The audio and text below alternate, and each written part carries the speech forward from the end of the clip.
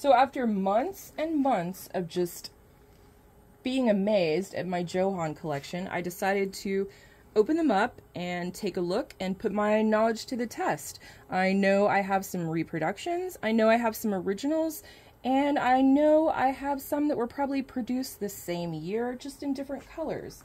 And I'm all about the history and the chronology, so I'm going to give it a shot without looking for a barcode, without trying to find a date on the instructions.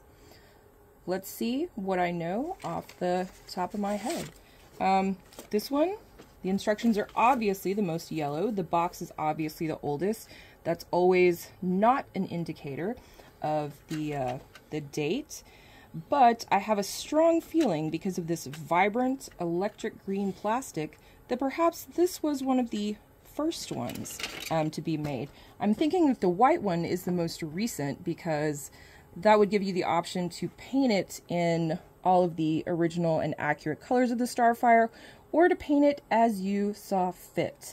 Um, I'm just thinking because these are really dynamic and the most alluring that these were probably the ones to come first.